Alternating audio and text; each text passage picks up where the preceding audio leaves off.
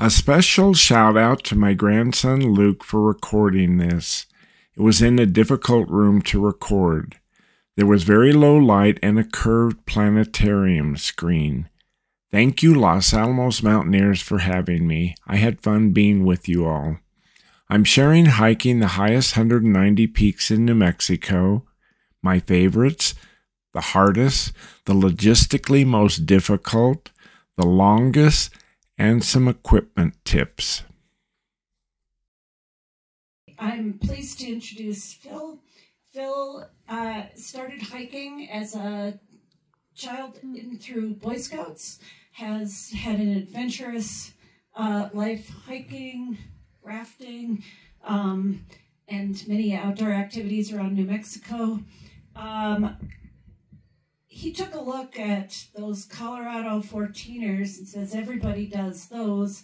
I guess at some point, you know, um, took on a challenge to himself to climb all the, uh, the highest peaks in New Mexico. And this grew, and he's going to share that with us. But uh, it was a pleasure at dinner to get to know Phil a little bit. He's an adventurous outdoors person all around New Mexico.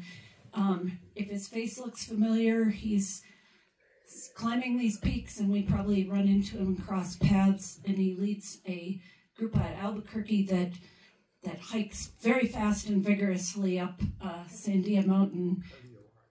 What's that? Cardio hikes. Cardio hikes. So if you really want a, a vigorous one, uh, look on Meetup for a cardio hike. All right, but Phil, I'm going to pass it to you to tell us about New Mexico's peaks.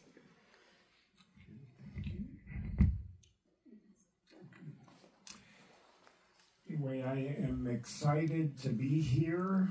And my grandson, Luke, is the cameraman right there.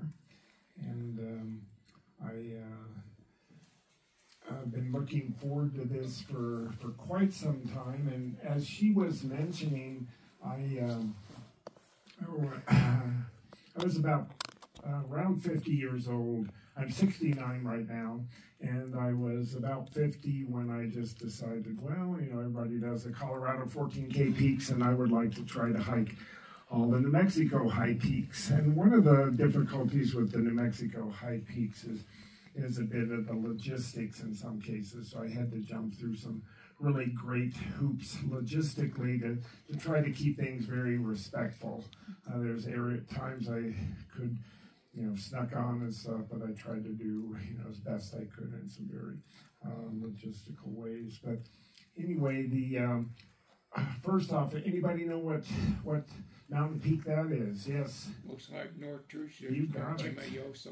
Yeah, you've been there. You've been so that the picture he's, he's got it just right. I'm taking that picture from Chimayosos, and that's North Truchas. On the left is Medio and Middle Truchas, and Peak 12, 900. Uh, a little bit to the north, a little bit to this side of. Um, so yeah, that's North Truchas. And uh, my list is a really inclusive list. I went in to try to even find all the little sub peaks and everything. And I, uh, for Mike uh, Butterfield, uh, he owns Butterfield Jewelers in Albuquerque. He's a peak bagger. He's written a couple great books. And I've gone into his books and found the very obscure peaks. I'm still looking at a few more obscure peaks in his book to get. But um, so it's uh, was 184. I picked up a few more of the highest ones, the highest 190 in New Mexico. And uh, with a little caveat, I have to say minus two. And there's two I haven't gotten, and which I'll talk about in just a little bit. And I could have stuck on and had them. I've tried four years. I've tried to make donations and so forth to get them, but I haven't been able to do that. And uh, anyway, so the highest, I started off hiking all the 12 and 13,000 foot peaks. And there are about, uh, about around 80 of those. And then I went into, I thought, well, I'm going to have to keep, I want to keep going. So I went into the 11,000 foot peaks and I got about, um, there's about 80 of those.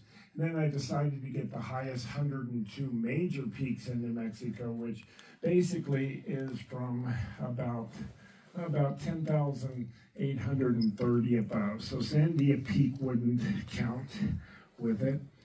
And um, I'm still working on some kind of obscure ones a little bit. Uh, so it's a little bit hard to see maybe in this video. This is a, a picture of the state, and you can see the, the highest 184 in green. You can see them um, mostly conglomerated up towards the top. Over here, there's whitewater baldy. In the Gila, there's it's not bald and there's no whitewater. I don't know why they call it that. But um, uh, and you can see my little caveat right there, those two little red dots, which I'll talk about. And that's a little closer view of it, uh, the northern New Mexico part right there. And no, this this is in northern New Mexico. Anybody guess what my little little caveat is right there? Taos Pueblo. Taos Pueblo. I tried four times. They actually took it to the uh, the council last year for me to go, but I never heard back from that with it. And anyway, I, I log all of my peaks on four, uh, well, three different websites, and I put them on the most competitive of the websites is List of Johns Mountains. Have you, how many of you have heard of List of Johns Mountains? Have some of you heard? Just one. But it's probably the most competitive, and it's just put together in um, um, the United States. And I've I've put together my my trips are like massively documented. Over time, I've taken probably uh, thirty thousand pictures, and so and I've written over two hundred trip reports, and I always do my um, GPS. Uh, treks also people could download the GPS. You can read my trip report and find out what not to do in many cases here and then I um, I drop my a lot of times I drop my um, my GPS track on Google Earth and manipulate it to get a 3D image of it. And recently, and also I've been doing uh, started doing YouTube videos, five, six, seven, eight minutes of all of the highest peaks in New Mexico. I got about 23. I started in the order that uh, I've been doing them, but recently I've come across Google Earth Studios, and on on um, which is also a great way to study your area before you go. You can uh, you apply to, to get on Google Earth Studios. It's free. They let you know in a couple days that they accept you, but they accept everybody pretty much. And then you can put in the peak. And I've been on my YouTube videos. I've been getting a video that does all the peaks in the area panoramic view and you can drop your trail on it also, so it's a nice setup. But I put put them on the list of Johns Mountains. That's probably the most competitive. And then I've got my YouTube videos there, right there, why the Wheeler Peak ones, that's my my grandson's dad right there, although he quit, quit with me a few years back peak bagging. But and I've done done uh, I've got about 20, 22, 23. But just a nice addition that I've been kind of happy with is that uh, adding on my YouTube videos towards the end, putting Google Earth Studios on there. And if you're interested in finding out some about it and seeing some of the little videos and stuff, you can subscribe. Just put in my name and put 184 Peaks and you'll find it there. Also, Peakery.com. And I, how many, well, how many, how many have heard of Peakery.com? I think that's my favorite. They do the whole, um, they do the whole Earth, all the mountains, and it's probably the most visual of all of them. And I've, I've got right now about 2,600 pictures on there and all my trip reports and GPS tracks. But it's it's just a beautiful sight to go and see. Um, just gorgeous pictures of all over the world. That, that's my favorite. It's probably the most visual. And on Peakery.com, they have challenges and I would challenge you to do some of these challenges. They, some of them, um, and they're they're they're getting peaks. It's very hard for me to leisurely hike. I've got to I got to hike a peak and get it. I can't. Very. It's very difficult to leisurely hike. But here's some of the challenges on um, um, Peakery.com. We got New Mexico 12ers challenge. I think there's about oh, 52 in there. We got the Taos 12 Peak Challenge, the uh, Taos 5 Peak Challenge. And Albuquerque 20, Albuquerque 10, Santa Fe 20 challenge. So I would challenge you to, to pick one of these and, and go do some of these peaks. The Albuquerque 5, Santa Fe 10, Santa Fe 5 peak challenge. You see on there, they have Thompson's Peak, Glorieta, Baldy, and also, this is my list, which is a very inclusive list. Now, how many have heard of peakbagger.com? Yeah, that's that. That's the really the nicest, just to make a list, and it's probably the most technical. The most competitive is list of Johns Mountains. The most um, uh, visual is Peakery, but this is just the nine, most technical and kind of nicest one to do here. And um, so the, the, highest 102 that I went for, they have to have a prominence of uh, 280 feet. You know, and you can make your own challenges. You could do, well, I'm going to get the 55 that have a prominence of 500 feet, or I'm going to get the uh, 150 that have a prominence of uh, 150 feet, or I'm going to pick up the 25 in New Mexico that have a 1,000 foot prominence. So You can kind of make your own rules. I made my own rules around uh, just myself. I have to at least at least have three miles or I don't count it. So I've been to the top of Pikes Peak, but taking a cog train and going 100 yards, I could not log that one. So I've never logged Pikes Peak. there.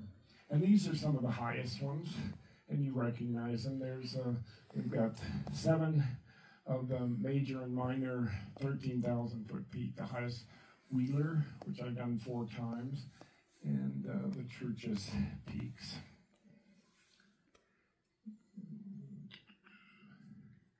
So there's more of the list.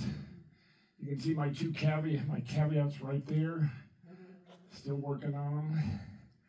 And there's more of the list, 134, 184. It's actually up to about a, 190. I've added some more in here.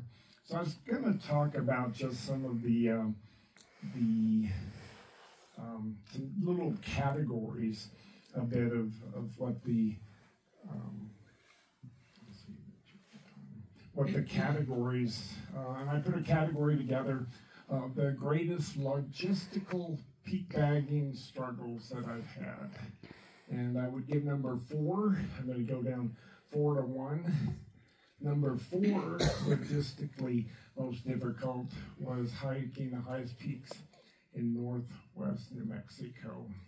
And the problem with it, it's, it's on land grant, and it's uh, have uh, it's Browse, Um, Brazos Peak right there, and Grouse Mesa. So I, um, one of my uh, tools to be able to hike peak is I have a 1992 Toyota Land Cruiser, which is just absolutely brutal. It has, uh, you know, the locking differential, and it'll. There's another vehicle, it will be there.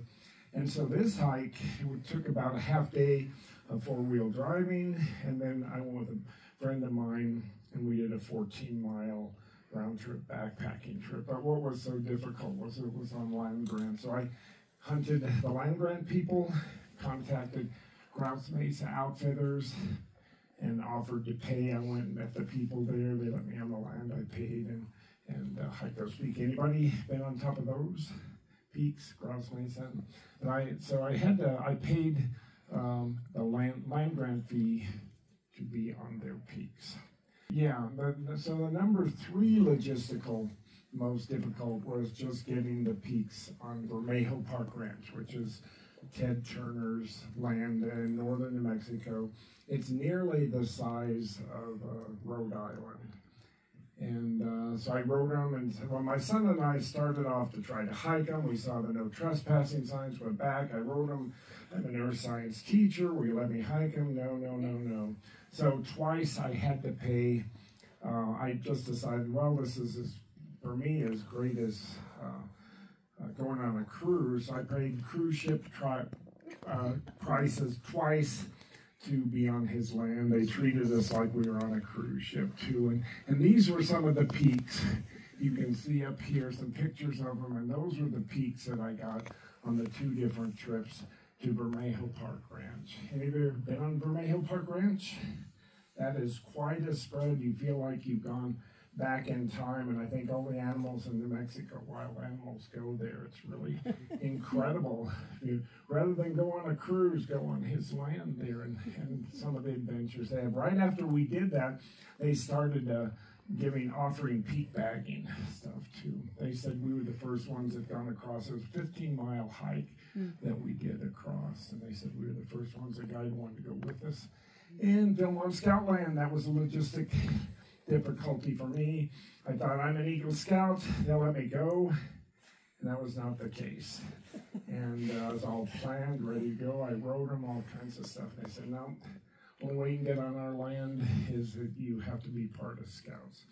So I went back to my old troop and I said, I, uh, you know, I'm only joining because I want to hike these peaks, but I'll volunteer a little bit. And so I volunteered about two years to get uh, five. Actually, there's another. There's yeah, Black Mountain. Um, so I, I, volunteered about two years so I could le- legitimately get those peaks. And then I, I trained and conditioned the boys there too. But that was logistically. And my number one logistic difficulty of the Pueblo Peaks. Yeah. I could have snuck on and had them three or four times already. But I wanted a, as clean a record as I could get on things. I know just how I would do it. I'd hike as close as I can. I've gone up there a number of times and tried to hire a guide. I went and offered, uh, I'm very motivated, I offered about 3000 for the preservation of the Taos Indian land and to pay a guide a uh, thousand dollars. They took it to the council, but I never heard back with it. And I'm going to keep trying. I'll go back next summer and maybe actually make a donation, whether I go or not, and see if I can so that's the toughest right there. And I could have I could have had that plenty of times. Then the hardest peaks. I uh, uh, I think probably the um, and kind of going in order the, the state line peak from uh, going from I kind of call that the hallmark hike of my life. You can see all across the top. We went down to the left all the way to uh, the left is Big Costilla. The right is, what is the right? Anybody know? At State Line Peak. It was about a 15 mile hike. And that was, that was uh, pretty tough. That was on Ted Turner's Vermejo Park Ranch. Number nine at the hardest, the North Truchas Peak. There's a picture, I had the picture on the front there. Um, we did, my son and I did 24 miles, two or three days, but that was up in the in the tough ones, especially because you can't really get those peaks without backpacking. Uh, Peak. Uh, interesting thing, we I was speaking at, at dinner tonight that we had to do it before lightning season. We were going to be four days above the timberline the whole time. So we had to do it before lightning season, uh, which is about the first week in July on. But there were no springs of water up there, so we had to do it while the snow was still there so we could harvest snow for water. And it was just a gorgeous hike being above the timberline for all those days. Flag Mountain was a tough one because it was three days, uh, 22.7 miles, a gain of about 7,200 feet for the time. And the first day I did almost 15 miles backpacking, about 6,500 feet. So that's up in the tough ones. Uh, Ash Mountain North, Ash Mountain South those were tough because it was it was like I, uh, first I did uh, Little Costilla and then I headed over to the those peaks and it's like walking across for two two and a half hours just boulders the size of Volkswagens and half a Volkswagen. It, it was a tough peak. Trampas, uh, Santa Barbara Ridge. I had my very hardest downhill hiking ever with my dog. It was a, um, I learned in this hike, this is a little tip for you. I learned in this hike that it's better to go up or down a ridge than a valley in almost all cases. But it was a little narrow, narrow V-shaped valley with I bet a couple thousand trees uh, along that V-shaped valley. It was so, so exhausting going down that. But what motivated me, this is a big motivator, maybe been a motivator for you also, is I knew I couldn't live there. I knew I had to do the next log and the next log and the next log and, and keep going because I couldn't live there. So it was so tough coming down. That, that's number five. Number four, I called the Forest Service and I said, um, are there any blowdown trees on this hike I'm going on? No, there's nothing. There's maybe a few. And I got to this one point, and um, it's I could just see endless down trees, way more than what you see right there. And uh, I was just talking about it with Luke, my grandson, and I knew I could go one way, but I couldn't do the loop, and I had to get somebody. So I, I called, and uh, it took me what would have been 20 minutes to, um, uh, it took like two and a half hours. Just, I bet there were 10,000 logs. It's just over one, over another one. And I had somebody pick me up rather than, than make the loop. Um, number three, there, there's Sylvia Peak. There's a lot easier way to go, but I went uh, it was very hard for me. Uh, 4,000 feet elevation gain. I got there too early. I started what looked like a clear patch. It was solid oak, so it was uh, just extremely difficult. I'm carrying a dog above my head because I couldn't get him through the oak. I'm cut and bleeding, and it's dark, and I'm wondering, what am I doing here? And that was a toughie. There's there's a just a beautiful picture of it. There's a lot easier way. Um, that's why you want to read my trip reports and know how not to do it in a lot of the cases. And number two hardest was uh, Sierra Mosca, uh, because I don't know if you've noticed, but a lot of the trails in the peak bagging books show, oh, there's this wonderful great trail, and there was probably a wonderful great trail in the 1960s, and you go and, to find that trail, and you need to almost be uh, an archaeologist to find that trail. That's I, I. It's so hard for me not to do a peak, and I backed out of that one because I, I went after work to get halfway there, and I went and did another peak, but the false start made it hard, and no trail, and that was tough. But I guess my toughest hike I did was, uh, and I thought years on this, planned it, and that was uh, South Fork Peak, and uh, peak 11978, and my elevation gain for that one day was 7,100 feet per day, which is, you're calculating that, that's about a quarter of the way from sea level to Mount Everest in elevation gain. In a day, and hard bushwhacking starting 4,000 feet straight up a, a hill, and uh, it was very tough. I think that's probably my number one toughest one right there. Then just some of the longest distance hikes.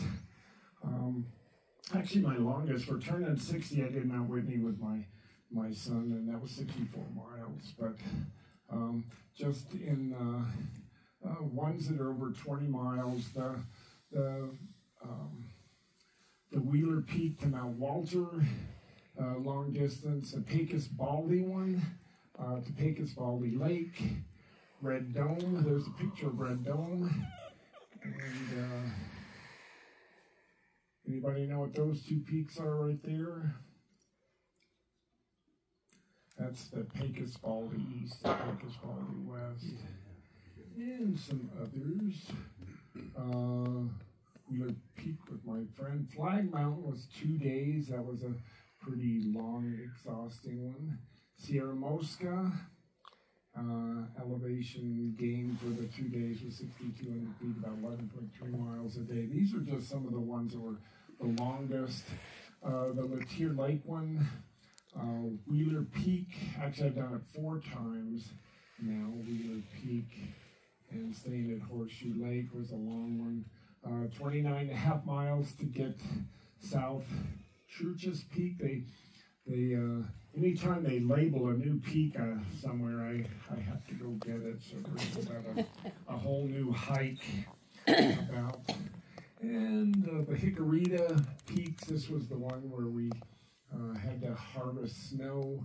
That was 34 and a half miles. North Truchas, uh, 37 and a half. Cibola, um, that was the one that went across all those logs at the Forest Service. I called the Forest Service back and I said, "Hey, don't tell people there's no logs there."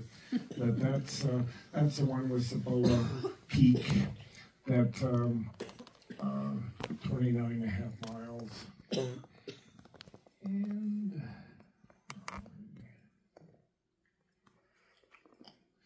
and then uh, I've done Truchas Peak so many times. I did it. Uh, four times 35 miles, another time at 50. That's my, my favorite area.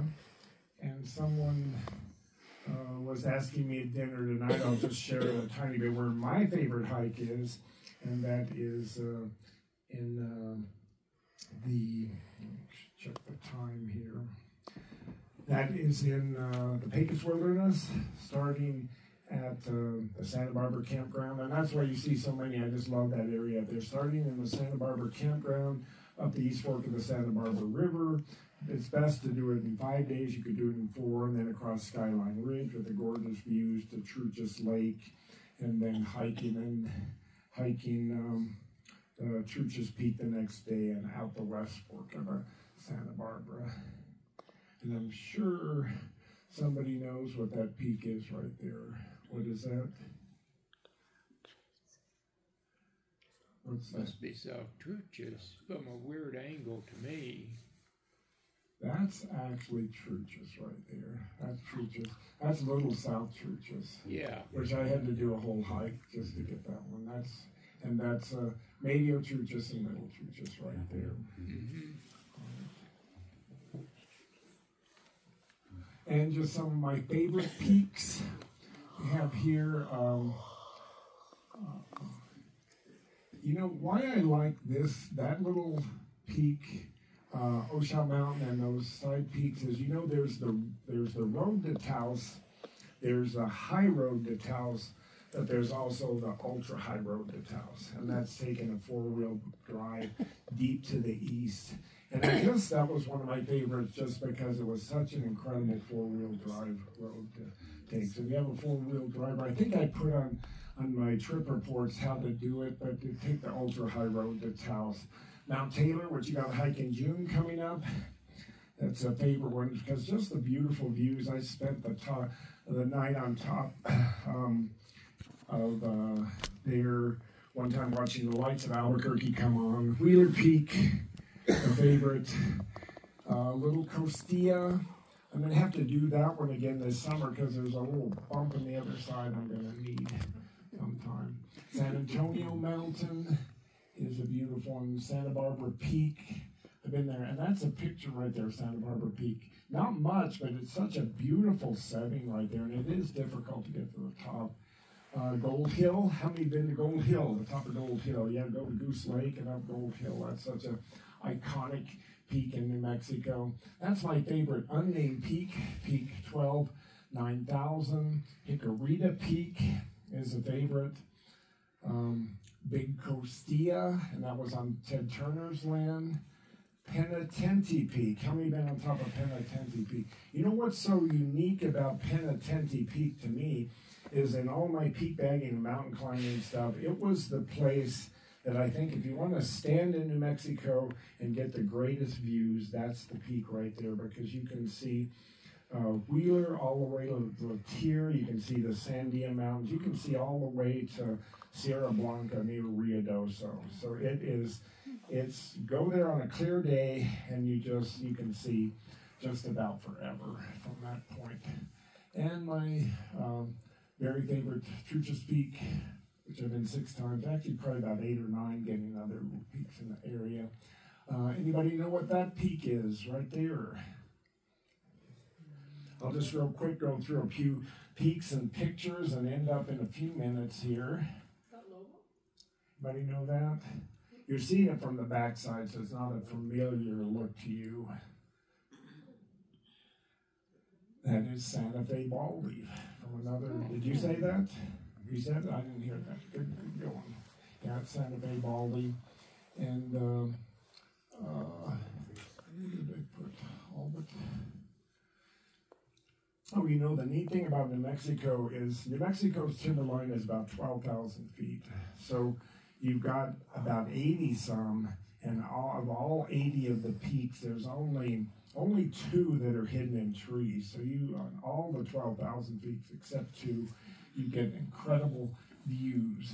And I mentioned I don't count a peak unless I get three miles. Um, and you know, all of these peaks can be climbed, and you don't have uh, on none of them you need ropes to climb. There's a lot of them you could climb with ropes if you went a, a particular direction, but all of them can be climbed without ropes.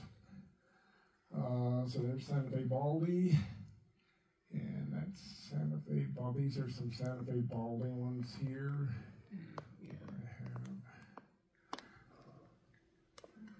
I have. And right there, I uh, I'll back backtrack one. But when I, I restarted with my son, uh, we were carrying the old old backpack stuff that I used to have. I carry about 55 pounds, and then I went almost like an art. I went into to I didn't want a ultra. I didn't want ultra light camping. You know where your your sleeping bag and your poncho is a garbage bag. I didn't want to go quite that far with things, so I. Uh, I did, I term it ultralight luxury. So I knocked down from 55 pounds to 30, and almost always I take two pounds of T-bone steaks and cook it on the, on the. I, I keep it real ultralight, so I use a, uh, a uh, two ounce chicken wire grill and cook it right on the coals. And my friends have told me it's as good as the best restaurants here too. So that's that's kind of the next picture. Getting, you can see my little. Uh, uh, chicken wire grill there, two ounces. And there's my tent. That's my favorite. I have a whole lot of different tents. And you know, I, have I've done the, the frameless backpacks and the, the frame backpacks, but that's kind of my staple. It carries a lot. I like the frame. I like, I, I found that you can hike and you can rest, and I like that metal. I can lift it off my shoulders, and I pretty much go at a pace. I pretty much hike all day and and uh, um, that's my little little tent with it. And and then another kind of neat thing I found is you can get a, a little backpack like that one that only weighs a pound and goes about that size, so you can go to your camp and then reuse that little one pound backpack. I got about three minutes and then questions. So uh, let me, here's my tent. I'll just try to zoom through and uh, I, I, have uh, the down. Uh, I love down sleeping bags because they pack so small, and yet they are just so warm. I'm, I love the down. And I, I didn't used to use pad, but I'm getting old, so I use a pad now. So, and then I put my GPS tracks in, and I was mentioning uh, most of my hikes I have dropped on Google Earth and that's not a great 3D image of it, but if you go to my sites, and I'm even dropping them on the YouTube thing, I typically put a 3D view of the hike where it is. And there's Santa Barbara Peak. I'm just gonna, real quick, that's when we had to harvest snow on the one. Uh, there's our, our trip where we spent the whole time above Timberline, hiking on Skyline Ridge. And there I am in Boy Scouts, right there. I, I got it in, we used to go once per month as a kid. And uh, just uh, went in my door. That was a 50 mile hike in the Pecos Wilderness. Those are my, you can spot my four buddies with my three buddies with the same colored backpack right there. I'm still in touch with them too. There's my award for it. There we are hiking up um, to the Skyline Ridge as a kid. And I'm just gonna, I was actually one of the first persons to get a dome tent. That's when I was about 19. And there I am, 19. Do I look different? Right there. There I am, about 19. There's a poor picture way back. And um, we already asked about those are Truchas Peaks right there. Uh, I, I love to try to get all different levels of, uh, of pictures on the hikes. And I'm doing real quick. Oh, I turned, had a little fun. So I turned it with Adobe Photo into a golf course, the Truchas, Truchas golf course, right? It's uh, kind of fun, but it almost looks like that. I added a few more fairways. And uh, there's my son. I I'm not too big on that Bivy tent. I tried a lot of different things, and you know some of my favorite high alpine flowers there at the Truchas Lakes. Uh, and there's my favorite hike I was just talking about right there. Uh, and there, there it is on Google Earth. That's the one I was telling you from Santa Barbara Campground. It's probably my favorite hike. I just redid Trail Riders Wall recently, so I'm going to real quick just go through. You can see most of my pictures on my. Uh, I love the. I'm a liquid cooker. I like the liquid stuff. And you always spot those little birds in the pecos. I'm sure you've seen them in places. They're some of the most curious little birds. And real quick, I'm going to jump to the end. My time is about up.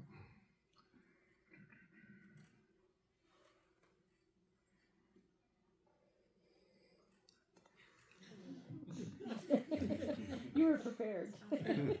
Yeah, and actually, I had her cut out half. I mean, I, I put together a huge one that lasted me for years here. I did. I wanted to mention just some of my favorite equipment. I know when I first started, you probably done this, and that uh, you you uh, we used to use. Uh, halazone tablets when I was in Scouts, and before that it was iodine. And then when I started again, it's just like pumping and pumping and pumping and pumping and pumping. And, and uh, you know, that was a little maybe better than the halazone tablet. But this is a gravity filter one, and that's 10 liters of water. And it's almost like going like a small sink when you use it. So you go down to the lake it's got a, a, holder on it, you know, five two liter bottles of soda, and 10 liters. And that lasts pretty much the whole time you're there. And it just, uh, so that's my, that's my number one equipment item for you right there. That uh, uh, Katadyn 10 liter thing. And it, it flows again, just almost like a, a slow sink. And there it is being used. And also, I, I just want to mention real quick at my equipment. I I, uh, I really get into things, and and I uh, so I put all of my equipment on a an Excel program, and uh, then I you know you can go ahead and tell me just click click click click click, and you know just what you what your weight is, or you can step on a scale too. Another way to do that. But, uh, so that, that's all my equipment. If anybody wants me to, you know, I could email you my equipment list stuff here and you know I have all the weights you can put your own stuff in there. Just kind of fun a little bit. Um, so that's my equipment. I could send you that. Um, and that's that's a presentation at another time sometime about my favorite hike far as stuff. So anyway I maybe I went like three minutes over I should. So any questions that I can answer? It's been just my pleasure to do this and share, and I've got, you can see I'm way over prepared here. So.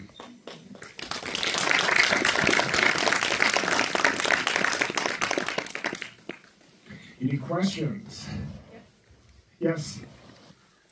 So there's a couple of uh, peaks. You mentioned Old Mike and um, Taos Cone and some of those when I was up there years past, there were signs about um, it was uh, you know off limits. What was uh, how did you work uh, those? Or well, if I didn't if I didn't actually cross a no trespassing sign with it too. Plus, it is right. It is actually on both. It's on the border there. My son and I were hiking up from Taos Cone, and uh, we we uh, heard gunshots. And um, so we thought, are these crazies? Should we run or should we go back? So we went back. And they were the Taos Rangers. And I said, could we just hike the peaks along this edge? And he said, no. And I said, I, and I asked him again, I asked him like three times. He said, okay, you can hike the peaks along this edge and go there, but it, but it's it's on the on the Forest Service end house, but they kind of view it as theirs. But they they actually did give me permission the hard way on that mm-hmm. a bit. Gunshots at us. My son heard the heard the bullet before we heard the sound. But I don't think they were actually trying to shoot to get us, but they they impressed us there. Other questions? You Yes. they were actually, actually shooting? I mean, they were shooting knowing you were there and trying Yeah. to get your attention. Yeah, I think they were. They thought, well, let's there they are. Let's shoot about fifty feet over them. I don't think they were actually shooting at us. So, but they did give us the okay with. But um, coming up that other way, you know, so the I don't think there's signs anymore. There sometimes there's there maybe it's been a sign, but I don't think there's signs anymore from that way. And it's on the border Forest Service and their land too. But the others are are deep in their land. Other questions? Yes. It's more than an observation, but I looked very carefully at your photos and I don't think it rains on you. I know how to make it stop raining is you you put on your rain poncho. You know, I'm not going to put it on. I'm not going to put it on. Then you put it on, and uh, as soon as you put it on, it stops raining. I've been really fortunate. I have had very little rains. I think the the worst rain that I got in was when I was in Boy Scouts, and we went from from Truchas Peak.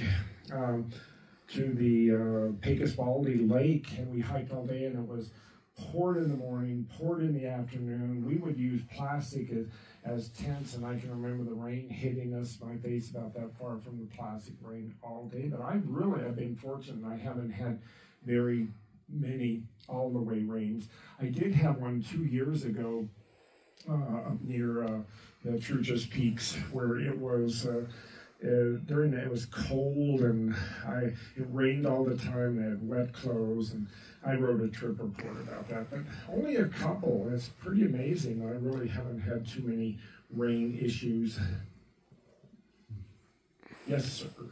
You said Ted Turner's land was like a cruise. Is it a resort? A bit, yeah. They uh, they uh, you can you stay at, at their place and they they have five star chefs and five star dinners. And I remember we were um, uh, we were six hours in the roads the particular day that we did a 15 mile hike and we got back at 10:30 and the chefs were waiting for us. And we had a, an elk steak and a uh, and I think my son had a buffalo steak. And uh, then they said what, what do you want? We said well, you have banana splits they had banana splits for us. They just they treated us a lot like we were on a cruise ship. Best barbecue I've ever had in my life on that. So just the experience was well worth it there other questions So we'll switch to just a couple that came in online. Um, a couple questions about your backpack. Um, what's the average pack weight you carry now? And do you still carry full packs to the summits? Uh, I've that one that we had to harvest snow, we had to carry full packs the whole way, and it was about a thirty-some mile hike. And uh, my packs have been dwindled down from fifty-five to including steak and a lot of water, about thirty-one pounds now. And it's really ultralight luxury. It's just as nice as when I had uh, the 55 pound packs. I really did a lot of research on things. And again, anybody want my equipment list and stuff, I could email you that. You could put it in your own Excel program or something. So around 30 now. But whenever I do any kind of conditioning hikes, I take about 15 just to stay in condition, even if just little the cardio hikes that I do. The cardio hikes are kind of interesting that I lead in Albuquerque. We blast up the mountain as hard as we can for an hour, regroup, and blast down. And, um, uh, and anybody can go at any pace, and they stop at the Albert point there. It's about four to six miles, about 12 to 1600 feet elevation gain. And um, you don't have to. I'm probably in as good a shape as I was in high school or college, but that's because I work at it. You get a free ticket till age 40, and then you got to work at it after that. And I haven't missed three cardiovascular exercises in this month is 19 years. I really keep consistent to keep in good shape. And my goal, I'm 69 right now, my goal is to hike Kilimanjaro at 70. That's what I'm hoping anyway. Another question?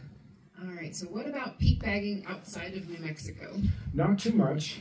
For age 60, I did uh, Mount Whitney. Uh, my son and I were on a lottery. We couldn't get on the lottery, so we had to go with REI Adventures. It was a 64 mile thing with REI Adventures. So I got Mount Whitney for 60. 65, I did the highest peak in, in Colorado, and I think it works. If you've done the highest peak, all the others count.